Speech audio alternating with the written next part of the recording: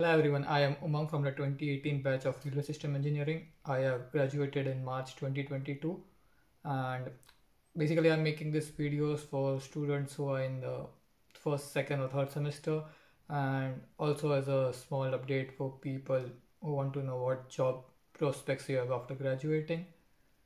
But uh, I think the title of the video will be something course of RSE or reality of RSE and yeah so before starting with anything i just want to say that uh, my the, the saying which i believe in is that you play with the team which you are given or uh, you play with the cards you are dealt with.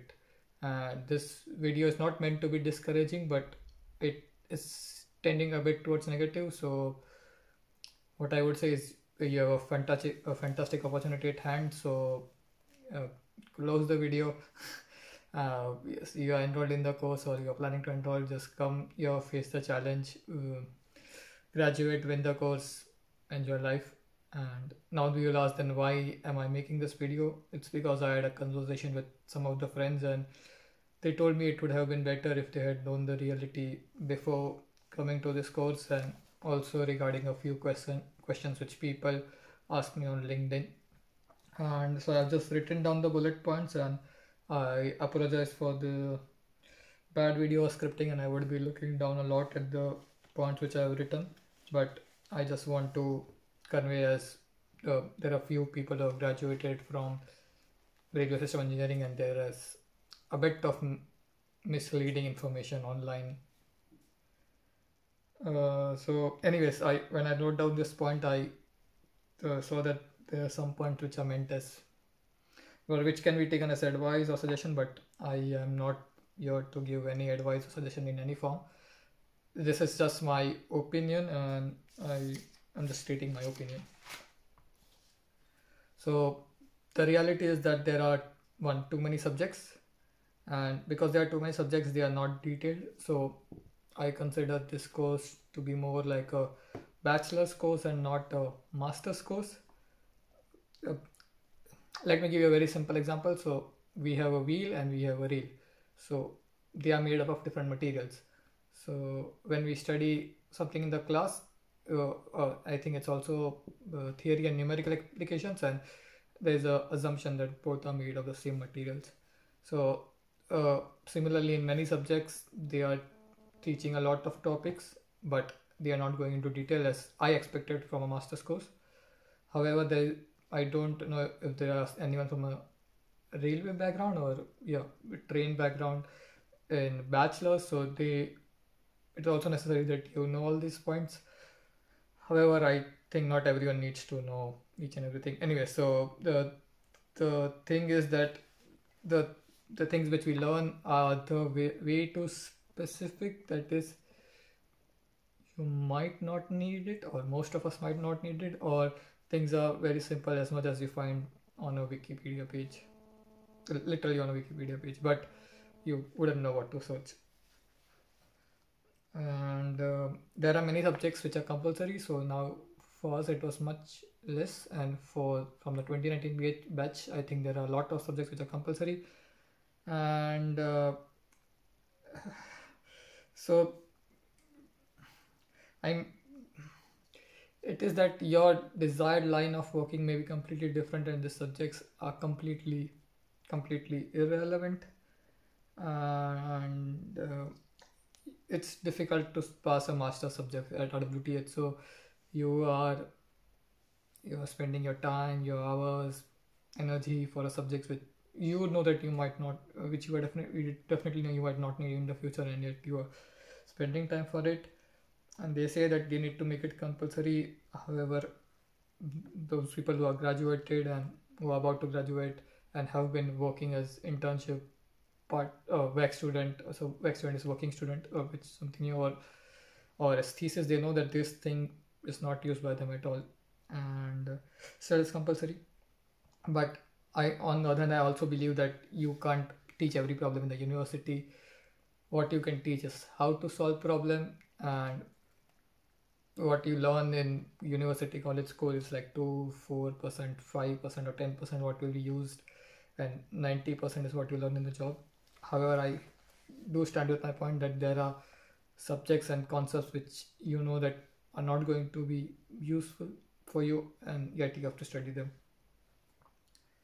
and uh, so uh, regarding these subjects also then there are subjects where let's say there's a subject where you're just studying the numerical application of something and you don't even know what the numerical application is what the theory is where you're going to use it. Since the exam focuses on numerical application and we look to pass the exams when they teach us to pass the exam so the focus shifts on solving it and uh, i may know how to solve it but i don't know when i'm working where i'm using it or why i'm using it and since the exam i will come to the examination system maybe right now. So the education system being one of the best the examination system in rwth is uh, one of the one of the worst systems or one of the bad systems that I have seen.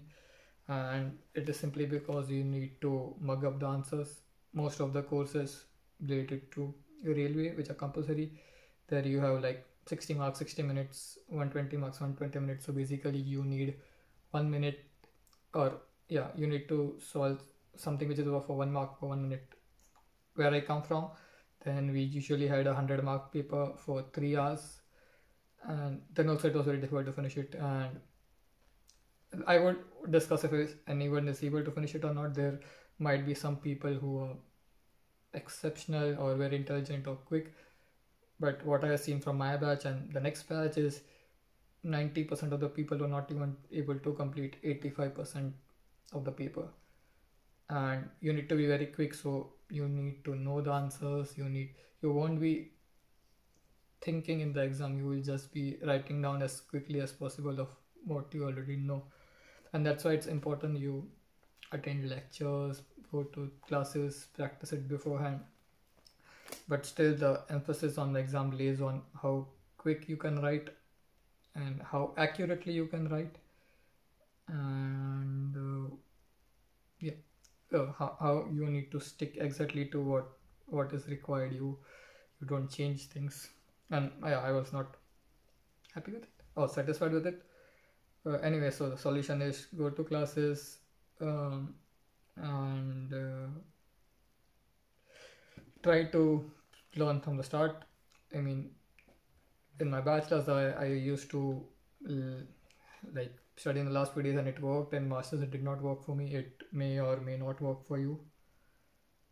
And uh, again, so uh, in exam also like what i feel is uh, as i said that you in work you learn in university you learn how to solve things and not what you solve this is what is actually useful to me right now. And uh, i that's why i don't complain about exams. It's a challenge that you have to pass. It's it's as i said the cards you are given on the team you play with. So this is a challenge and or this is a task for you. And i want to say a challenge and you have to see how you pass it. It what I did is I managed to, and my advice would be to try to keep the score at least 2.5 if it's so in Germany one is the highest four is lowest and five is what you feel.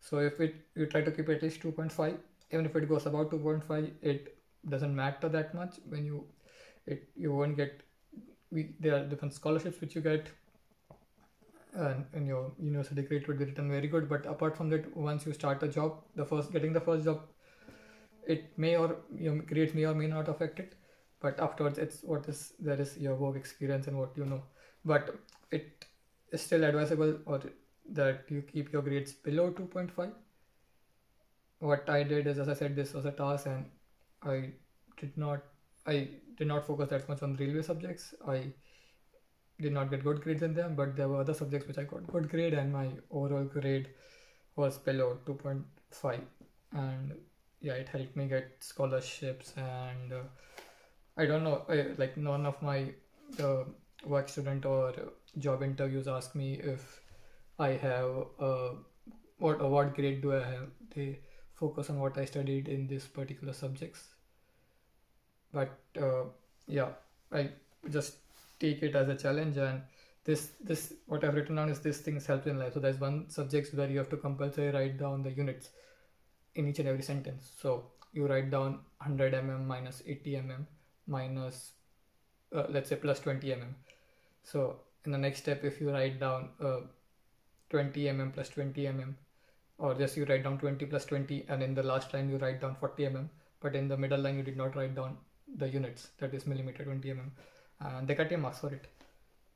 They uh, you are informed beforehand. It's it's not that you are not informed beforehand, but still they cut marks for it, and you might think that yeah I I know the answer. I know how to solve it. Still, I didn't get the marks. But the point is that you were instructed to do it, and let's say you you are working somewhere and some documents is very important, and you might know what you what you have solved, what you have written, specified, but the other person who is reading this document might not know these things, and that's why it's necessary to be clear and specific, and that's why it's necessary to write unit. So this is what uh, this is what helps you, and therefore you the the set of rules have been defined, the cards have been dealt to you, and it's now depends on how you play with it.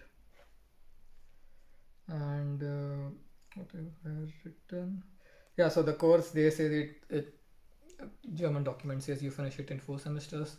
I'm not saying it's impossible to finish it in four semesters. No one has done it so far. And why it is difficult is you have majority subjects in winter semester.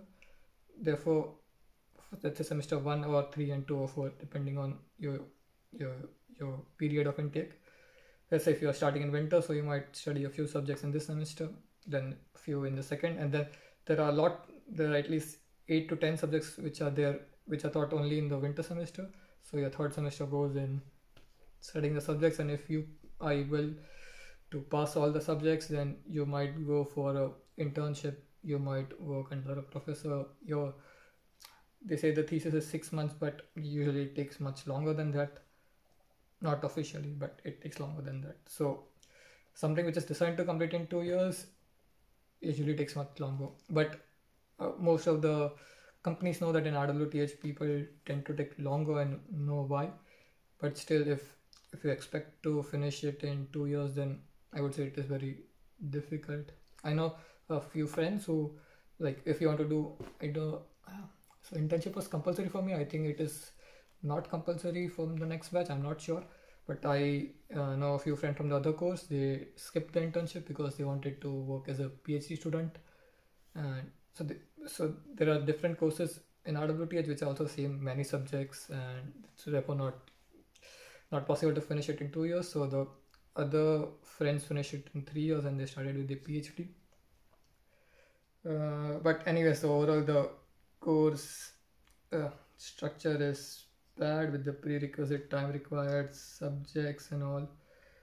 But uh, you get opportunities. You mm, the the research facilities are amazing. You you have a pc you uh, i don't know if it is allowed now so because it was covid we were allowed to have work from home when we were working on thesis or something. And you can literally study any subject you want. So there are free electives. Uh, you go and you sit in this lecture or you register officially for the lecture, you get the notes. I know, uh, uh, let's say in railway itself, there are mechanical, electronics, and civil, and I also know people who have gone into automotive section. I know people who have gone into sustainability and all.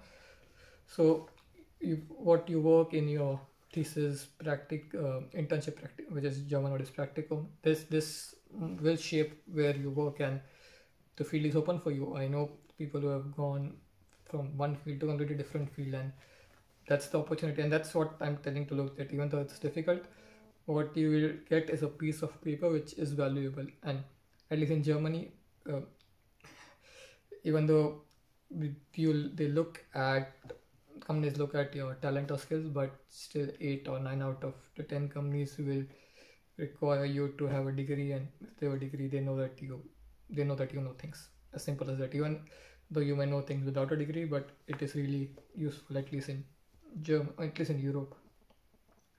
And what else have I written? Yeah so you uh, there are a lot of research assistants in RWTH and you, you can some of the websites show what the institute or what one person is working on. So you can just ask him that is there any work or do you have any task or do you have any thesis with you? And uh, the, i mean it is difficult to pass the exams. And if you if you just want to and this is for job, job prospect and also for study prospect if you let's say i i would give mechanical examples because because are easy for me. But the similar apply to civil and electronics. If you want to work as a cad engineer so you would design drawings the preference will be given to someone who has studied mechanical engineering or cad similarly if you want to do a finite element analysis. So again the preference will be given for someone who has studied computer and mechanical engineering and it won't be given to you even though you you might have done projects on it. So not always but uh, a general case scenario. And the, in other case let's say there's a railway related job and you require a bit of cad and fem also but you also need the knowledge of railways. So in this case a job preference will be given to you but it would be more uh, it would won't be com- complete technical fem or uh, cad drawing.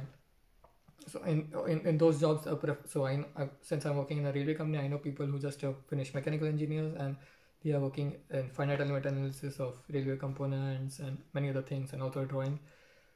So they are given preference for these jobs and right now there's a demand for them but i think i don't know uh, how many people have graduated from the 2019 batch from our class i estimate it to be somewhere around 9 to 11 people and three, four soon in upcoming months. And all of us who have graduated have jobs. But with the number of intakes with the courses taking, I don't know what the demand will be in the next three to four years for a railway engineer. But regarding the job prospect, I can say that it depends on what you're interested in, and there are multiple fields. You, I had also got uh, right now I'm working as a suspension engineer for bogies, and I also also got offer as a uh, what was it operational timetable uh, is Berish uh, Berish uh, I forgot it, but something as an operational engineer, and uh, these were two completely different parts. So my other friends are working as fleet managers or uh, they are just working as a consultant in sustainability. So there's a concept called interlocking of uh, interlocking. You will come across in one of the subjects i guess. Vehicle one you will get it. So there are different different fields and my friend from sustainability uh, from civil engineering right now they are working on a different project. They are one has got an internship in sustainability another has got in um, construction. I don't know the details but there are multiple fields we can go from. So if you come from a mechanical civil electronics background you can shift and move accordingly. And this degree or a piece of paper will help out help you out a lot. But this would be very difficult if you are just here for learning and knowledge. Then uh, it it's not that much because you after i don't know.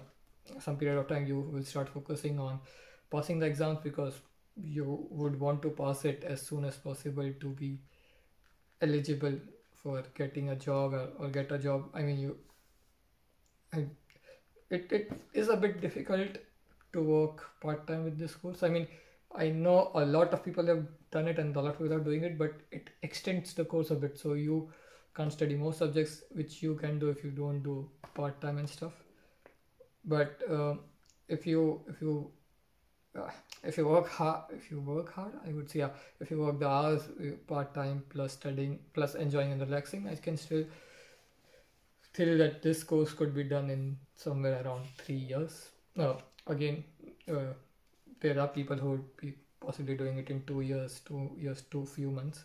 I'm just telling on an average what i assume it to be. And uh, yeah so again another thing you learn is how to pass the exam.